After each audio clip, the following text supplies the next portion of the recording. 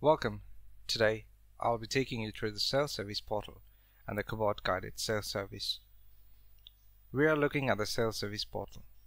This is a multilingual portal where the solutions are categorized into product buckets.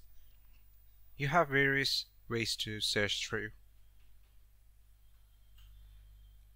Let me go through a category. Say I have a problem in Outlook and now search for the relevant solution, then download it. Now let us continue the rest of the presentation in English. I can check through various categories. See I have a problem in Skype. It is repetitively prompting for the password. I go to the category Skype and download and run the solution. I am asked to follow the steps and I click as required.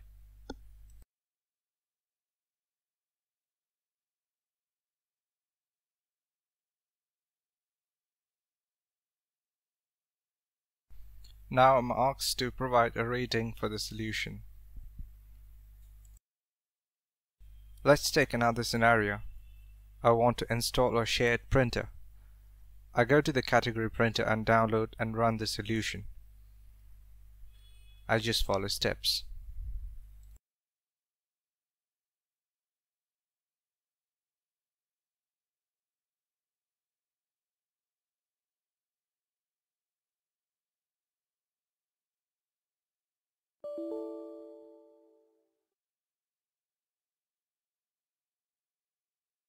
Say I was not able to resolve and quit or say no.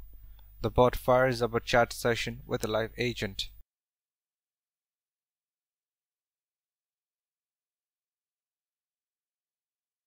All of the usage gets reported in the reporting portal where you get analytics on various parameters as downloads, runs, and to a solutions level.